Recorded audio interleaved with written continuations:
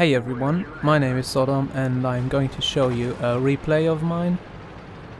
Uh, I tried to get some replay footage in the last time, but I haven't had that good games and uh, I felt like this one was uh, was a, a nice result for me in the last time.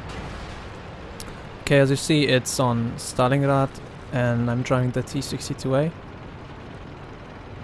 Um, usually I don't really know how to play this map but since uh, almost all uh, mediums always go this side, I'm just trying to stick with them. And I'm, I'm pushing forward a bit aggressively, but only because I want to improve my um, Mark of Excellence rating, so I, I need to get the most damage out of this game. Um, spot nothing on this corner. Their first target spotted over there and over there. I decide that I stick with my flank, but then I see the T-54 behind me. I sneak a shot into him. Probably saving the AMX.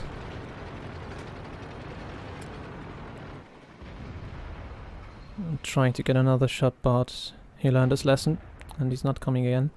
Now I see on the minimap that there's an 3090 to my left and uh, I thought about going for him but then I saw that he's on the other side of this large building.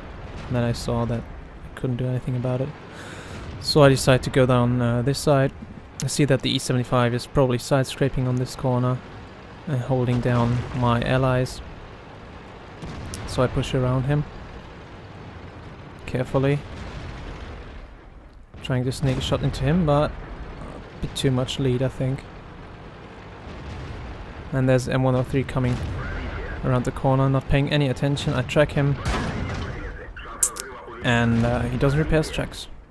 Seems like he doesn't have any repair kit.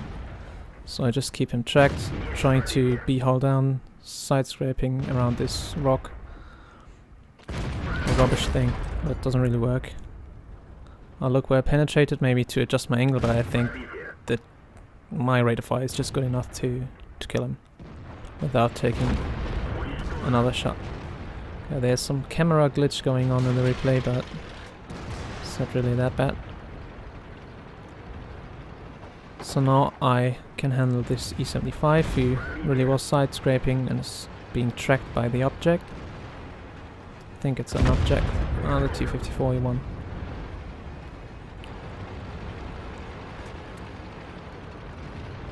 So now I hunt down the 3090 to get the kill on him. Bounce the first shot, badly aimed. Or, really, you can't expect the bounce on it, but on this angle. So now I want to know where the E100 is and there he gets spotted. So I go around him and try to get some shots from behind. All those rubbish walls are in the way again. And that sneaky shot didn't hit.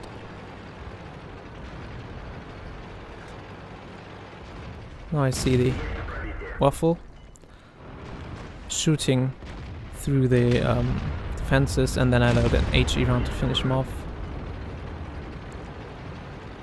I see the way that the E100 is facing and I come from behind again. Shoot one into the back of this turret. And then I see all these mediums coming in and I go for the tracking shot because if if I get the tracking shot here then I get lots of uh, assistance damage from my mates. Keeping, keeping him tracked while damage him and uh, he's down. So the other flank pretty much collapsed. Uh, so instead of going to cap because I want most of this most out of this round I'm just going around and trying to, um, yeah, get him from behind. See that this T-54 is probably not paying any attention to uh, to rear because he may be busy with these uh, allies over there. So just go go after him. I see that my mates are capping and then that's why I'm hurrying up but bumping into this pile of rubbish again. This map is full of this shit. T-54 from behind. He's not paying any attention now. He he noticed me and he's running away.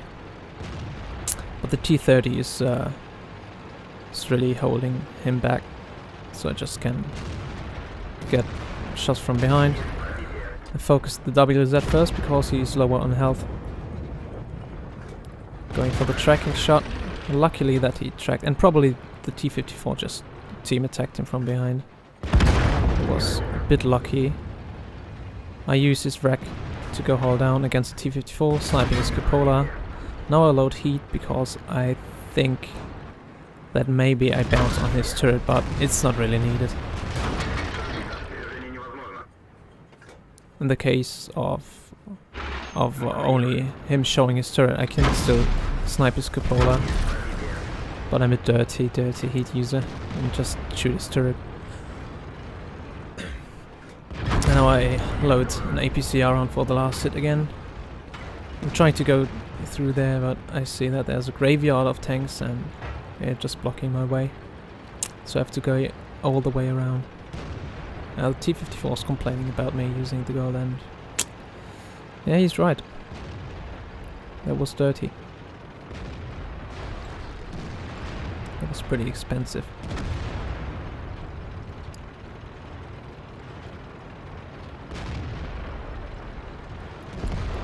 So now I'm on 6 kills. And I'm trying to get the kill shot on the Waffle. Who killed my IS-8 mate. And I get the kill. And there's the last one. I shoot on the move, but there's a little bump on the road and I, I missed the shot. Going for the tracking shot again, tracking him. T-54. Damaged him on a low HP, but it's just not enough. My reload was like one millisecond too slow and the T-54 got the kill, denying my Radley Walters. Yeah, so that's it for the battle. Let's view the end stats.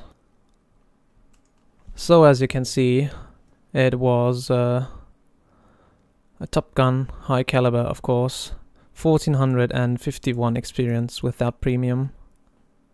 I've damaged quite a lot of them. I wonder why I didn't get the Confederate Medal too. Um, 7040 uh, 64 damage, and uh, where is it? 1367 damage up on the tracking. So you see it really paid off. I traveled 2.76 kilometers in this game. And I've uh, penetrated 25 out of 30 shots fired. That was pretty good, uh, pretty good rate for me.